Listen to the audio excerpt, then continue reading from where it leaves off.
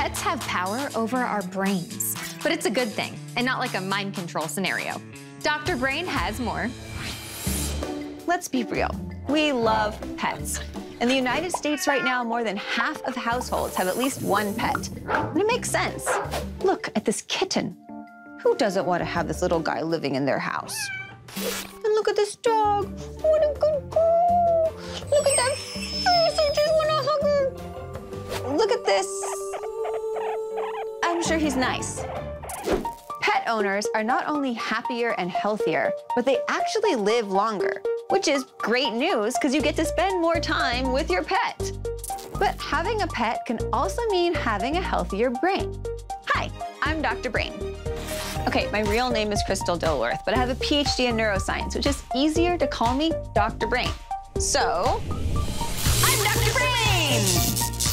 There are many reasons that scientists think that our pets are good for our brain. Simple, routine caretaking activities like getting outside and taking your dog for a walk are good for both you and your pet.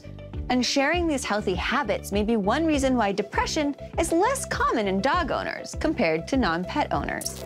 In fact, many surveys show that dog owners are the happiest pet owners, which might explain why dogs are the world's most popular pet. Don't worry, birds. Maybe you'll be more popular next year. Not to be outdone, cats have their own superpowers when it comes to our well-being. The low rumble of a feline purr has been shown to increase the release of neurochemicals called endorphins that block pain signals and help to reduce stress. And also, they're in all the best viral videos. The act of petting a cat or a dog also helps reduce the stress hormone cortisol and activates release of other positive brain chemicals like oxytocin that stimulate feelings of safety, trust, and caring. Scientists showed that the brains of pet owners had less signs of physical aging, with some looking up to 15 years younger than the brains of non-pet owners.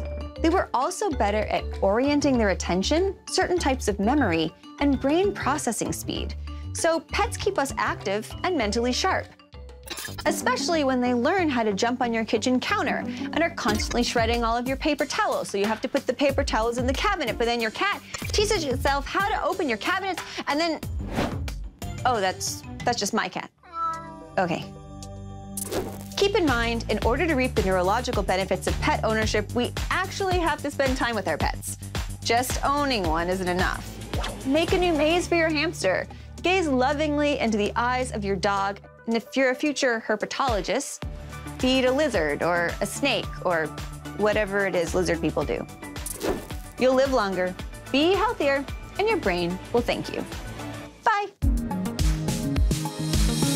If you're watching this, you must have really liked the video. Make sure you follow and subscribe, and check out these other videos that are even better. No, really. I've seen this one over a hundred times. Bye.